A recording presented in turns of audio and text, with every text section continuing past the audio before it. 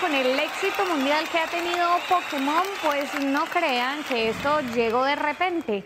El éxito de este juego es contundente y hoy es oficialmente el juego que más rápido ha alcanzado los primeros puestos en los rankings de la App Store y de la Google Play, tanto en descargas como en ingresos que representan para los señores de Nintendo. Sí, señora. Es que imagínese, un juego donde usted...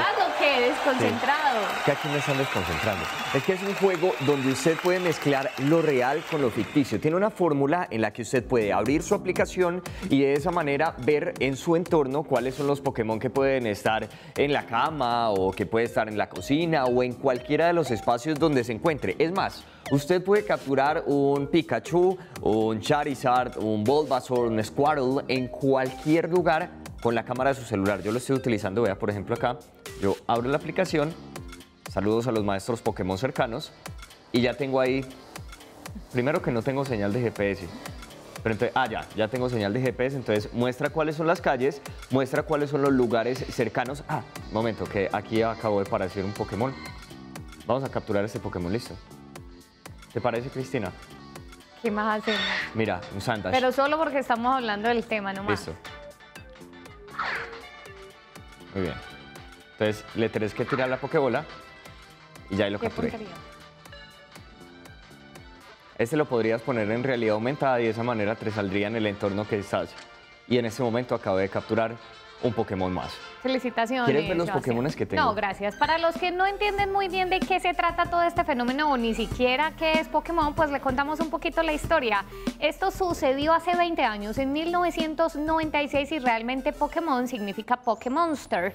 Era, eh, nació principalmente, Sebas, como un juego de los señores de Nintendo, pero se volvió tan popular rápidamente que luego se convirtió en una serie de televisión que muchos niños, como Sebastián, disfrutaron y que luego llegó a las pantallas del cine se convirtieron en camisetas, gorras como las de Ash, el personaje principal, y mil cosas más que lograron venderse gracias al éxito de este juego. De hecho, mi pasión por Pokémon viene precisamente de la serie de televisión donde usted veía a Ash y todas las historias que habían alrededor de él, de Pikachu y de cada uno de los Pokémon que iba atrapando en la serie. De ahí es que nosotros veíamos cómo vivían en un pequeño espacio llamado una Pokébola y se enfrentaban en muchos torneos o incluso a, eh, a Pokémones salvajes para poder atraparlos. Y los Pokémones son realmente en la gran mayoría de los casos inspirados en algunos animales mitológicos de la mitología oriental. En otros casos son objetos o cosas, pero que también tienen que ver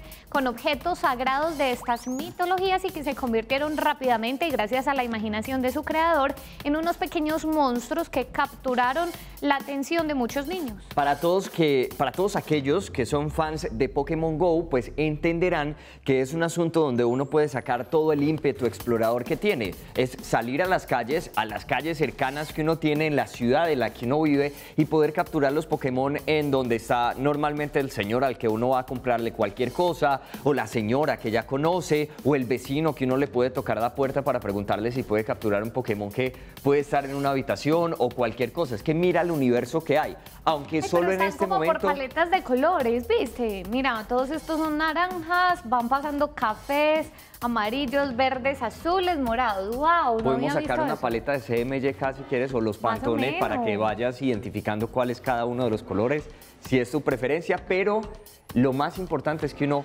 va haciendo ejercicio mientras captura Pokémon. Durante estos días y gracias al fenómeno de Pokémon Go, pues muchas eh, opiniones se han dado a conocer a través de las redes sociales debido a este fenómeno por videos como el que les vamos a mostrar a continuación. En Nueva York, por ejemplo, un parque lleno de personas, todos todos, si usted mira, realmente todos los que aparecen en el video tienen en su mano este celular Mira, hasta la que va a caminar. Este me parece el más fantástico que casi se choca. Mira, todos tienen el celular y muy probablemente la gran mayoría de ellos estén jugando Pokémon o estén atrapando alguno de sus Pokémones en ese mismo momento. Hay que decir que no todo es malo, hay un lado muy amable y es que Pokémon Go ha hecho que mucha gente salga de sus hogares y vaya a buscar por diferentes calles de la ciudad los eh, bichitos estos y lo más importante es que hay algunos logros que usted solo puede obtener cuando va caminando por las calles de su ciudad. Por ejemplo, si usted tiene un huevo donde nace un Pokémon, la única forma para que el huevo salga o eclosione con un Pokémon es caminando 5 o 10 kilómetros y la aplicación va contando los pasos que usted va caminando. Eso Por es lo un lado menos bueno. los obliga a caminar, eso es importante. El fenómeno ha sido tal que Pokémon Go solamente está realmente disponible en este momento y oficialmente en tres países, pero ya ha sido descargada en todo el mundo. Imagínense que en este momento tiene más usuarios activos que Twitter, más descargas que Tinder y está a punto de sobrepasar a Snapchat y a Google Maps. Incluso estaban diciendo que batía un récord porque en este momento tiene más tráfico en algunos días que sitios de entretenimiento para adultos. Por primera vez una aplicación está teniendo más tráfico que un sitio de juegos para adultos y vemos en la parte superior Snapchat, luego está Google Maps y vemos en la parte inferior ya superado Twitter y Candy, Candy, Candy Crush Saga, que sería otra de esas aplicaciones que ya ha sido superada. Esta es la segunda incursión de Nintendo en todo lo que tiene que ver con el mercado móvil. La primera fue Mitomo, que es una red social que no tuvo mucha acogida, pero esta aplicación lo que ha hecho es darle como nuevo impulso y una nueva vida a esta compañía. Es que no se imaginaban que fuese a causar tanto boom, tanto como para llevarlo a las primeras planas de muchos de los programas, periódicos y lugares informativos del planeta. Los señores de Nintendo Sebas están igual de sorprendidos que nosotros, yo creo, y tanto que aprovecharon incluso para relanzar la consola NES, que es la clásica de ellos, en una versión más pequeñita, porque obviamente todos van a querer comprarla. Gracias a todo este movimiento que en redes sociales está más activo que nunca, hemos conocido además historias muy curiosas, Sebas, de lo que ha venido pasando con los jugadores de Pokémon. Ya ha habido ladrones que buscan eh, robar justamente en los lugares donde hay Pokémones. Ha habido gente que se cae, que se choca con los muros por estar jugando Pokémon. Ha habido gente, mire esto, por favor, o sea, la esposa esperando tener su hijo en la clínica Pero y mira, el otro Pokémon atrapando un acá abajo. Pokémon. Yo le tiro el Pokémon en la cara, te- le pego con la bola Pokémon. Mira, en los Este lugares es de más entretenimiento insólitos. para adultos y este es un sitio de comida rápida donde hay un ratatá eh, esperando para que lo capturen. No es una cosa muy increíble. O sea, imagínate tu comida encontrar un ratatá. Hay muchas cosas que también están pasando alrededor de esta aplicación. Como ya les venía contando, muchos medios de comunicación están centrándose en lo que sucede con esta aplicación. Por ejemplo, una compañía radial de la ciudad de Medellín ya encontró un grupo de adictos a Pokémon que están haciendo excursiones por diferentes parques y lugares de la ciudad. Es decir, se reúnen 10 o 15 personas van con sus celulares, arman excursiones, alquilan en algunos casos vehículos para poder llegar hasta un punto, se reúnen y lo que hacen es capturar todos los Pokémones que puedan en los lugares insignias de la ciudad. Eso en el caso de Medellín. y también sé que en Bogotá y en Cali hay grupos de, de- de maestros Pokémon que están descargando la aplicación y que están yéndose en grupo a capturar Pokémon. ¿No te parece muy interesante la labor social que está haciendo? Y vaya, salga con ellos a capturar Pokémones. Tengo mucho Yo trabajo, creo, no puedo. Sebastián, que esto no pasaba desde el Harlem Shake y que uno puede considerar este movimiento como una fiebre colectiva o una pandemia mundial de Pokémon. Hay un tema más interesante detrás de la aplicación y es lo numérico. Si usted está diciendo, bueno, pero es que eso es un juego para niños, eso no está haciendo nada muy interesante, pues les cuento que hay un asunto muy importante y es el tema de ingresos económicos que está generando.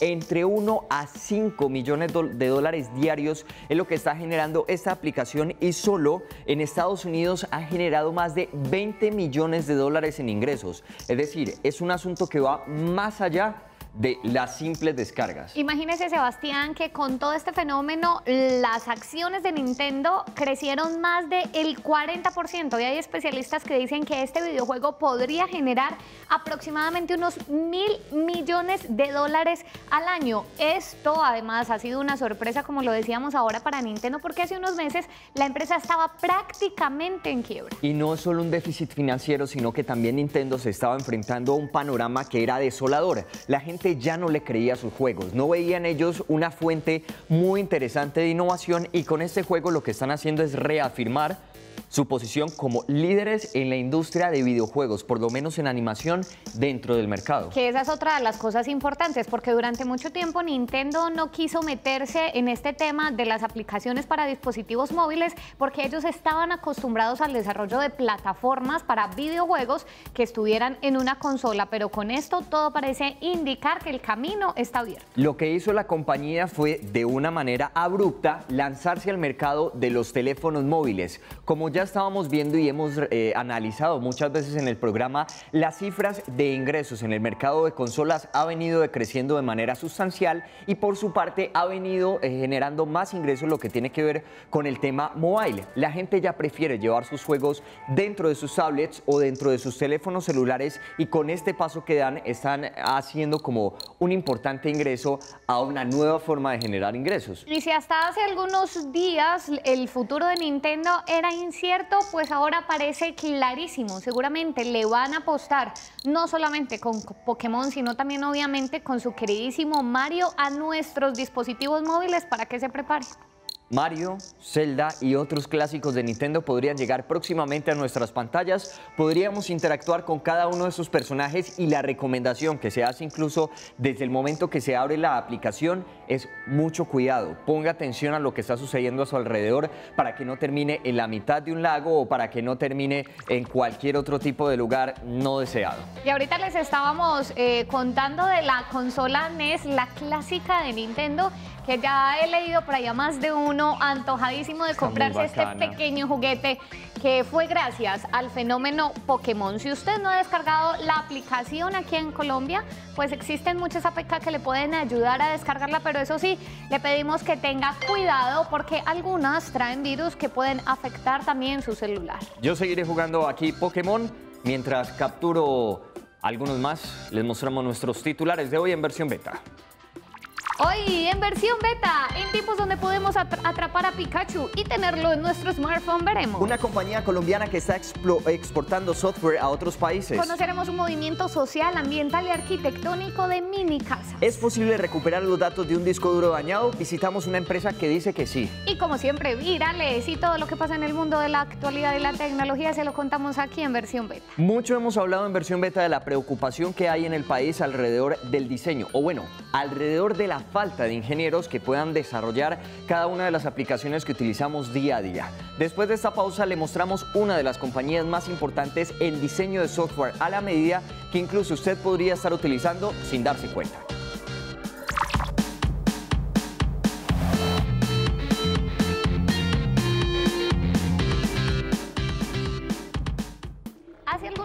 En una de nuestras editoriales les comentábamos aquí en versión beta que un estudio venía diciendo que estaban preocupados porque el déficit de ingenieros en Colombia era una cifra alertadora. Mire, la cifra es más o menos que para el 2018 van a hacer falta cerca de unos 90 mil ingenieros de sistemas y de telemática en el país. Y eso resulta preocupante cuando es el trabajo del futuro. Y es que son más de 70 mil vacantes que puede ofrecer el tema de tecnología de información y comunicaciones. Y si nosotros estamos viendo cuál es el número de graduados, pues arrojamos o encontramos que son alrededor de 6 mil personas que se están graduando cada año de este sector. Es decir, si nosotros nos ponemos a analizar hasta el 2018, harían falta casi 45 mil ingenieros dentro de nuestro país para poder suplir la necesidad que hay en este momento en la industria.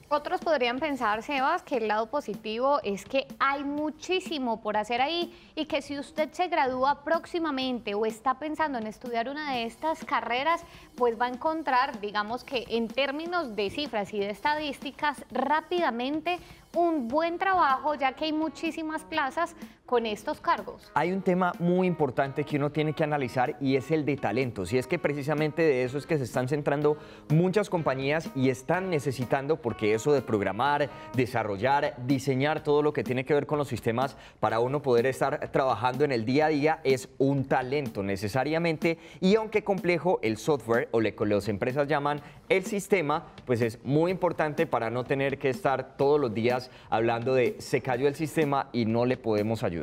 Y en tiempos donde lo digital y donde todos vivimos conectados, es muy importante, Sebastián, que los desarrolladores de software estén eh, formándose, aprendiendo y sobre todo encontrando lugares y empresas que puedan eh, ofrecerles un buen espacio para trabajar. Aunque claro, no todo es malo. Hay muchas empresas en Colombia que se están dedicando al desarrollo de software y por eso precisamente traemos a una que está en Colombia, pero es de las más importantes de Sudamérica en el tema de desarrollo e implementación de contenidos o de software justo a su medida. Está hoy con nosotros Stevenson Cañas, él es el gerente general de Seiba Software. Stevenson, bienvenido a Hola. Bienvenido Martín ¿Cómo estás? ¿Cómo estás? ¿Cómo estás? Hola, ¿Bien o no? ¿Cómo va todo? Todo muy bien, un poco de frío, pero bien. En tu casa, bienvenido Stevenson. Contanos primero un poquito qué es Seiba Software. Seiba es una compañía de desarrollo de software a la medida, ¿cierto? Y cuando hablamos de la medida es como si yo fuera una tienda de ropa donde ya voy y tomo mi, mi prenda ya, a la, ya diseñada. Eso es, digamos, lo que llaman productos de caja, estilo Microsoft, que ya tiene su, su Office o todo el cuento. Pues si voy donde un sastre, el sastre me desarrolla o me hace a mí mi prenda a la medida. Entonces me toma mi medida, me dice cuál es mi talla y me la ajusta a la medida. Eso es lo que nosotros nos encargamos hoy en día, hacer software a la medida. No hacemos software de caja hasta el momento. ¿Y cómo comenzaron ustedes con, con la empresa? Nosotros llevamos 11 años, eh, empezamos haciendo de todo. Es decir, mientras nos estabilizábamos, digamos, económicamente y mientras salíamos de ese momento de, la laguna oscura de si, sobrevivíamos o no en el mercado, empezamos lo que nos pedían, hacíamos. Entonces, hacíamos sitio web, hacíamos desarrollo de software y también desde, todos los puntos de vista de, del mercado. Entonces, si nos pedían algo para seguros, hacíamos para seguros. Si alguien decía, necesito hacer un sitio web, hacíamos un sitio web, etcétera, etcétera, etcétera. Pasa el tiempo y empezamos ya, digamos, como también a especializarnos en sectores. Ya cuando los resultados fueron muy buenos y son muy buenos hasta el momento, entonces dijimos, ya empecemos nosotros también a buscar verticales en algunos sectores y ahí a profesionalizarnos en las verticales. Uh -huh. Stevenson, tú mencionas el tema de la ropa a la medida y yo creo que eso, eso es clarísimo pero me cuesta todavía un poco sí. entender cómo software, o sea, si me dices ropa la medida, claro, pero software a la medida, trata de ponernos un ejemplo, de contarnos de una forma más clara cómo funciona eso. Listo, no sé si de pronto puedo mencionar marcas, me dicen, si no, no. Entonces, Dale, como quieras. Si cuando uno, supongamos, se mete a Microsoft, ¿cierto? Uno ahí, Microsoft le dice a usted, yo tengo un producto de caja que es el Office, ¿cierto? Entonces ellos hacen muchos Office. Entonces yo lo que hago es que ya es un producto de caja que ya tiene un diseño. Uh -huh. Pero cuando yo me voy donde un cliente, supongamos que ustedes dos tengan una empresa, tengan una compañía X, y en esa compañía usted me dice, ve, yo necesito que ustedes me hagan un desarrollo en el cual yo pueda contactar mis clientes, poderle manejar la trazabilidad al cliente de, desde que se despierta hasta que se acuesta, ¿cierto? Y quiero manejar esa trazabilidad, cuáles son sus hábitos de consumo. Entonces, cuando yo hablo de sus hábitos de consumo, es se levantó, a qué hora se ducha, a qué hora desayunó, a qué hora se desplazó en su vehículo, hacia dónde se fue. Y que después de eso, ustedes me digan, yo sí quiero saber que me digan cuál es a la semana o a los 15 días, cuál es su frecuencia, es decir, a qué hora se despierta, a qué hora se duerme, a qué sitio va, por qué va a esos sitios. Cuando ustedes me empiezan a hablar de esa forma, yo lo que estoy diciendo es, ese producto solamente a hoy les sirve a ustedes dos, posiblemente a otro equipo de trabajo, a otra empresa, no les va a servir porque tiene unas características especiales para su negocio. Entonces nosotros lo que hacemos es que los escuchamos, hacemos pues lo que llamamos en software un, una toma de requerimientos o una especificación o unas historias de usuario, bla, bla, bla. Hacemos cualquier tema de esos y a partir de ahí les decimos, esto es lo que ustedes quieren y sobre eso vamos customizando. Ustedes dicen, sí, pero yo quiero que esta pantalla que usted me hizo, que me desarrolló, no sea con estas características, sino que quiero darle más importancia a esto y así te lo vamos ajustando a la medida. Podríamos aterrizar aún más el ejemplo con un nombre de una empresa, la necesidad y qué fue lo que finalmente salió. Diga que fue, sí, o sea, sin sí. problema alguno, que puedas mencionarlo, obviamente que no que no vayas a vulnerar el tema de, de, de, confidencialidad. No, o sea, sí lo va a mencionar y ya pues está inclusive en producción y todo. Cuando decimos producción es porque ya está en el aire, ya está prestando okay. el servicio. ¿Listo? Para nosotros uno de los clientes más importantes es el Grupo Suramericana. ¿cierto? Y dentro del Grupo Suramericana, no sé si de pronto alguno de ustedes tiene póliza, de, alguna póliza con Suramericana. Yo tengo salud y, un seguro de vida. Ok, listo. Cuando el, la persona, el que te está vendiendo la póliza, no sé si de pronto han notado que ellos van o con una tablet o, o, si vas a la oficina de ellos tienen un PC. Y cuando antes empiezan a preguntar sus características, qué tipo de qué edad tenés, cuáles son tus riesgos. Entonces empiezan a preguntar por tus antecedentes de salud, qué edad tenés, por qué estás buscando la póliza. Cuando te, dan todas esas, cuando te preguntan todas las características, te dicen, tu póliza es de bajo riesgo o un riesgo bajo, medio, alto, y a partir de ahí ellos hacen unos cálculos y sobre esos cálculos te dicen, sí, te puedo asegurar y tu póliza vale tanto dinero, ¿cierto? Esas características de esa póliza en particular, nosotros se las desarrollamos al, grupo sudamericano, ¿cierto? O lo que también llaman los cotizadores. El cotizador es también para el tema de, para el tema de vehículo. Cuando me refiero al tema de vehículo, es que venga, si una marca A es diferente a una marca B, entonces ellos miran cuál es el nivel de accidentabilidad, el nivel de robo de ese, de, ese, vehículo y sobre todo eso ellos tienen unos parámetros que son los parámetros que nosotros desarrollamos y con base en eso te decimos un vehículo de una marca X vale tanto y un vehículo de una marca Y vale tanto. A eso es lo que hacemos nosotros como software a la medida, ¿cierto? Hay otra serie de personas que son los que piensan en todo ese negocio. Son, son personas que dicen, se estudian el mercado y con base en ese mercado nosotros hasta cierto punto necesitamos volvernos expertos en ese negocio. Es decir, que cuando una persona está hablando del seguro, ya sea de vehículos o de vida, nosotros debemos entender qué es lo que nos está diciendo, ¿cierto? Para poder que ese software que nosotros hagamos, ese desarrollo que nosotros hagamos, sea muy bien hecho a partir de la necesidad que tiene. Y eso como tal solamente le sirve a ellos. Si yo tomo ese producto y se lo ofrezco a otra aseguradora, la aseguradora va a decir no, porque yo utilizo otras variables, otros parámetros.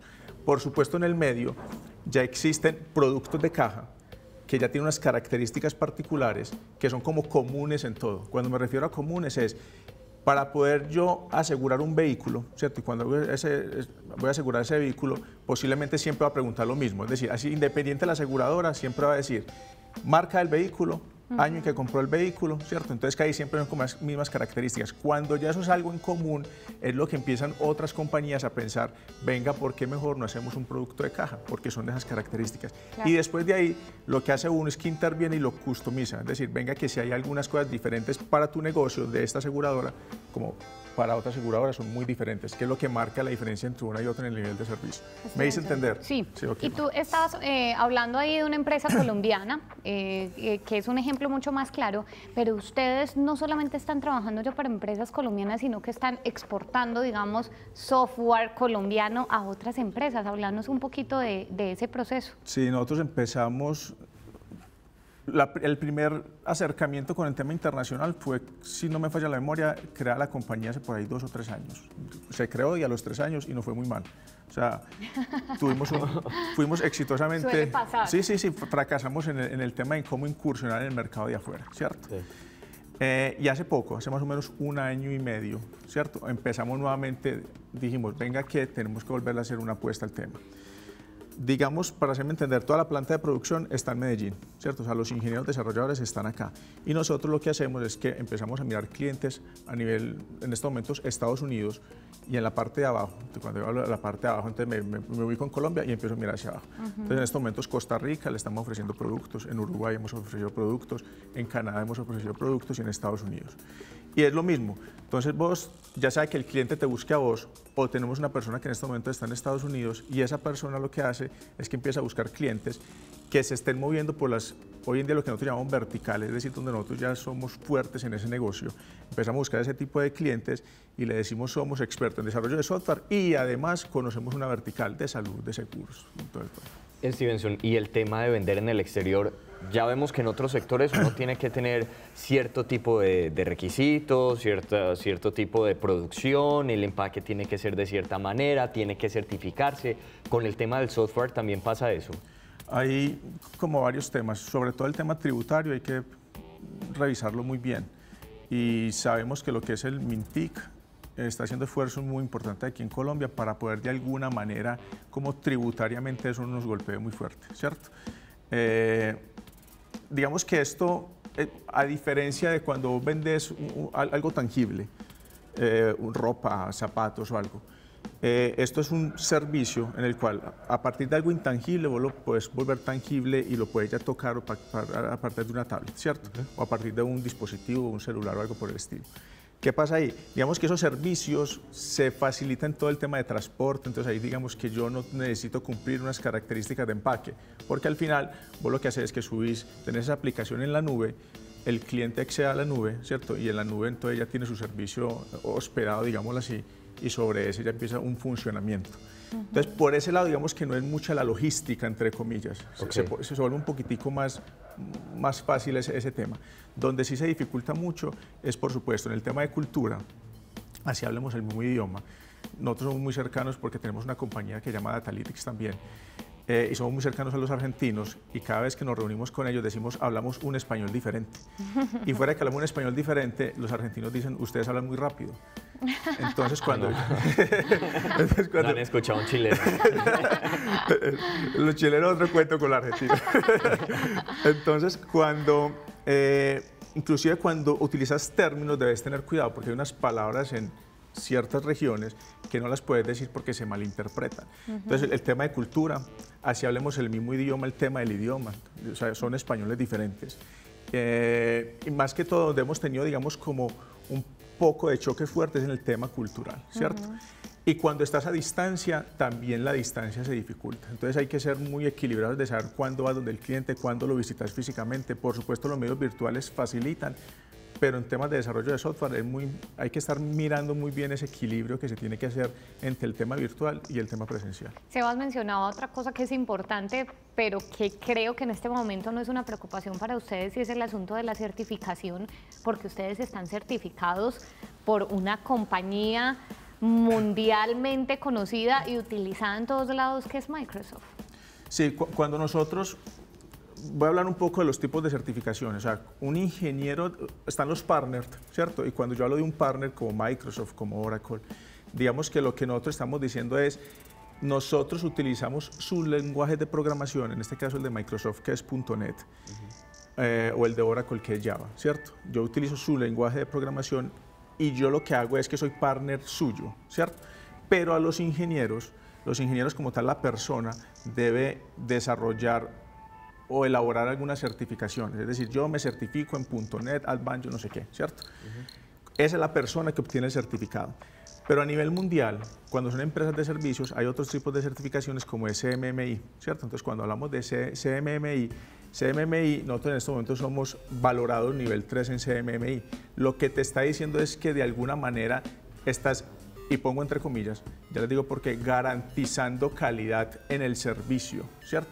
¿Y por qué lo pongo entre comillas? Porque las certificaciones son importantes, pero también nos hemos dado cuenta que uno tiene que ser muy cuidadoso de la certificación, mantener muy bien el equilibrio entre lo que le enseñas al ingeniero, realmente cómo está tu proceso de desarrollo de software al interior, eh, porque no solamente de certificaciones vive el hombre. Entonces, eso es, eso, eso es un tema, porque una vez se encuentra mucho ingeniero con mucha certificación, pero en este tema de desarrollo de software, cuando vos estás con un cliente, si de pronto no sabes hablar con el cliente, es decir, te pones tímido ante él, por mucha certificación que tengas, ahí digamos que ya empieza a haber como una barrera en ese momento.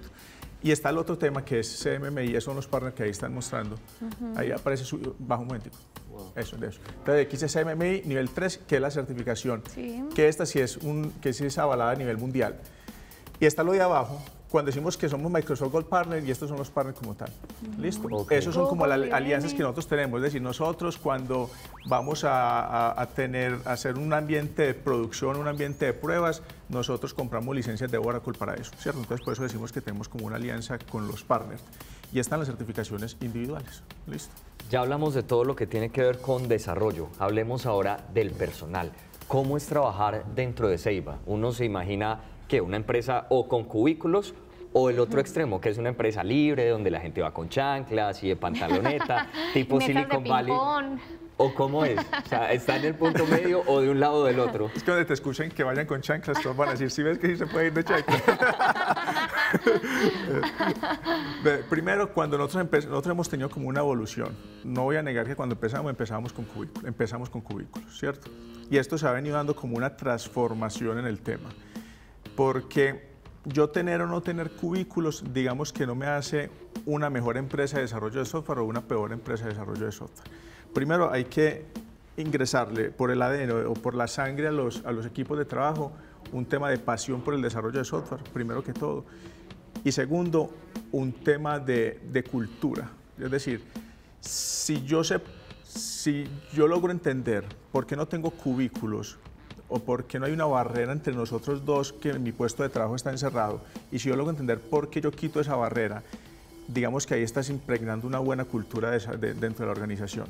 Porque si vos quitas el tema, y nos pasó. Algunos decían, venga, es que yo verle la cara al otro me desconcentra. Yo quiero que me vuelvan a colocar el, me vuelva a colocar ese telón verde que tenías antes, porque es que estar viendo esta la cara me está desconcentrando, ¿cierto? Algunos sí dijeron, ve, me parece bueno porque yo ya puedo hablar con él más directamente y preguntarle, mira, ya estoy tirando una línea de código, me falló, o te acordás lo que me dijo el, eh, lo que me dijo el cliente sobre este, esta funcionalidad, ¿se puede hacer, no se puede hacer? Es entender muy bien por qué vos quitas ese, tema. Y cuando tenés espacios más amigables, digámoslo así, es también porque tenés esos espacios más amigables, ¿cierto? Donde la gente pueda tener un espacio donde se pueda reunir alrededor de algo, donde pueda conversar alrededor de buscar una solución. Eh, también cuando vos llegas en algunas oficinas de nosotros lo que hacemos es que forramos, digamos, la oficina para que la gente pueda rayar más, porque se tiene que rayar más, ¿cierto? Entonces, el tema de, de tener esa libertad es, venga, no, no imites los espacios, mejor impregna una buena cultura de desarrollo de software, ¿cierto? Stevenson, por último queremos preguntarte por algo que estábamos hablando ahorita para presentarte eh, frente al tema de la, eh, la, escasez, digamos, o la preocupación que hay en este momento por los pocos estudiantes y los pocos egresados de ingenierías eh, que tienen que ver con todo este mundo de la informática y de los sistemas ustedes buscan talentos, cazan talentos, eh, apoyan, digamos, estos procesos de jóvenes que vienen aprendiendo a desarrollar software, sabiendo que este es el trabajo del futuro? Sí, yo no sé en qué momento de la historia la gente le dejó de gustar desarrollar software o estudiar desarrollo de software. En mi tiempo se llamaba, creo que todavía se llama, ingeniería informática. Eh, algunos decían ingeniería de sistemas, eso pues siempre hubo un problema ahí con, con el nombre y uno notaba que había gente que, que le gustaba el tema. Eh, no sé en qué momento, ya cuando abro los ojos, dicen hay escasez, ¿cierto? Y cuando yo miro que hay escasez, efectivamente sí es un problema muy grave que nosotros tenemos. ¿Qué nos está tocando hacer? Junto con Intersoftware, junto con el Mintic eh, y con otras empresas aquí locales, venga, vamos inclusive hasta, hasta el mismo colegio, más o menos en los grados décimos, 11 todavía existe, ¿cierto? Sí, claro. Sí, sí, sí. bueno. sí, que abre uno los ojos y ya no existe 11. de ir hasta allá y mirar que, primero decirle a las personas, venga, esto es una de las tendencias a nivel mundial, ¿cierto? Esto es un futuro donde usted puede seleccionar que hay algo donde usted puede trabajar, ¿cierto? Y lo que hacemos es que les explicamos qué es el desarrollo de software, vayan, insisten en las instituciones y de alguna manera con las universidades mirar a ver cómo se puede complementar, apoyar, como lo queramos llamar, de mirar personas desde esa instancia, ¿cierto? Y ya también lo que hacemos hoy en día es con algunas universidades de acá de, Medellín, de, alguna manera trabajar. Entonces los que son los practicantes, venga entonces, nos referencia a los practicantes, los ponemos a trabajar, pero a trabajar en serio, porque mm. me comentaba otra persona, que, ve, yo soy practicante de otra carrera y me pusieron fue prácticamente a, empacar. Y, empacar algo que no tiene nada que ver con lo que él se, su profesión, porque la práctica es hoy en día es como un relleno de cumplir algo para poder que la persona lo desempeñe. Nosotros que hemos estado haciendo es, venga, los practicantes de universidades, de alguna manera muy responsablemente, pongámoslos a hacer algo de lo que hoy en día ellos estudiaron. Entonces, y también, si es posible y si les gusta la compañía, si realmente les interesa todo este tema, los vinculamos automáticamente. Entonces, con estas casas, la gran mayoría se vincula. Claro. Stevenson, nos encanta tenerte hoy aquí en versión beta. Le mandamos un saludo a todos los trabajadores de Ceiba que seguramente ahí estaban viendo al jefe y le van a preguntar por lo de las chanclas. no se vayan en chanclas. Mil gracias, Stevenson. No, si tenemos el último viernes de cada mes. pueden ir en chanclas. Pueden ir tropicales. tropicales. Stevenson, gracias por estar con nosotros en versión beta y los invitamos a ustedes a que se queden porque luego de esta pausa les vamos a mostrar cómo se está transformando eh, el tema de construcción de hogares, no solo desde el interior, sino también desde lo que viene con el exterior.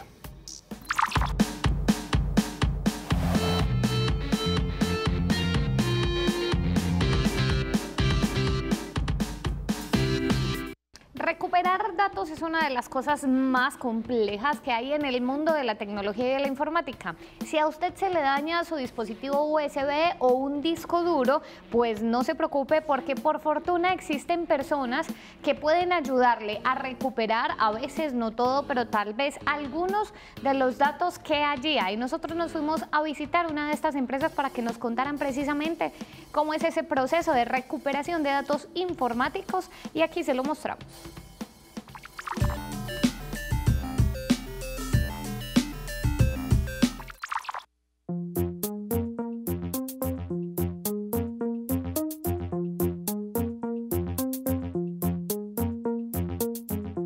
Duro eh, se puede dañar, o sea, almacena la información y la información se puede perder en un disco duro por problemas eléctricos, o sea, al picos de voltaje, eh, por eh, caídas.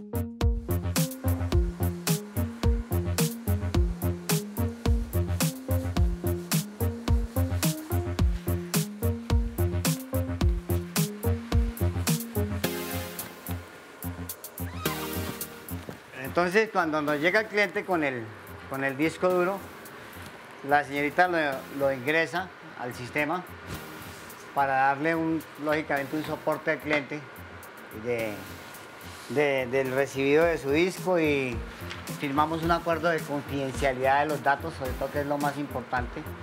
O sea que nosotros no vamos a, a utilizar su información de ninguna, en ninguna forma. Ya con este, entonces procedemos a ir a hacer el diagnóstico.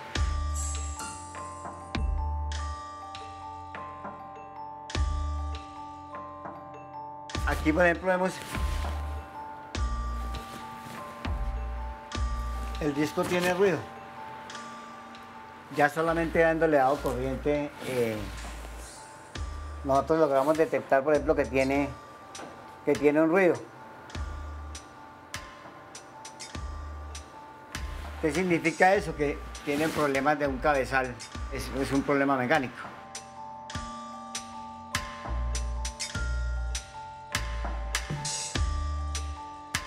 Lo que procedemos es a destaparlo para revisar y poder mirar, decirle al cliente, se puede o no recuperar, porque si está rayado, pues no se va a poder recuperar la información. Entonces, lo primero que entramos es a mirar eso.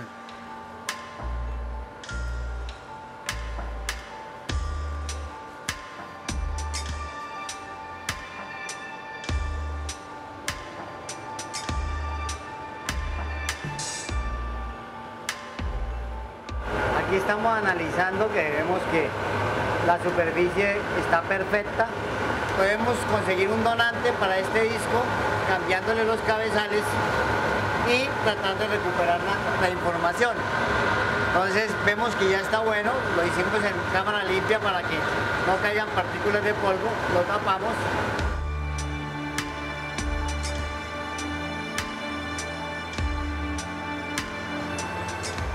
A veces no es posible definitivamente recuperar el dato cuando la parte magnética del, del- disco, en este caso, está afectada.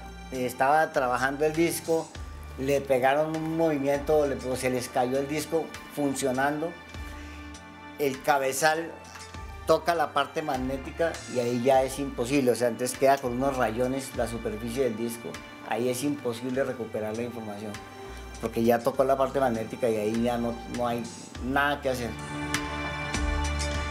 Entonces, si el cliente nos aprueba la cotización, lo que hacemos es buscar un donante, que es un disco igualito a esto, o sea, que, tenga que sea un Toshiba, que tenga el mismo modelo, la misma capacidad y todo eso para que con eso le cambiamos los cabezales y después de cambiar los cabezales, por medio del, del programa, tratamos de leer la información. ¿sí? Y ahí procedemos a recuperar los datos. Eso es lo que toca conseguir, un disco igualito. A ver, si no, es, si no tiene el mismo firmware, o sea, la misma especificación, no te sirve el cabezal y seguro no te va, no te va a poder leer los datos al otro lado. Entonces, esto es lo que a veces es complicado, tratar de conseguir un donante que sea, que sea lo mismo. Porque no sé si son los tirajes o cosas de ese tipo que hacen los, los, los fabricantes. A veces usted se puede gastar hasta 4 o 5 meses para que en eBay por allá aparezca un donante y cuando aparece es unos precios altísimos. Pero pues todo depende del valor de la información y hay gente que tiene cosas invaluables ahí en información que, que pagaría lo que sea, pues igual de todas maneras por conseguirla, por conseguir recuperar los datos. ¿no?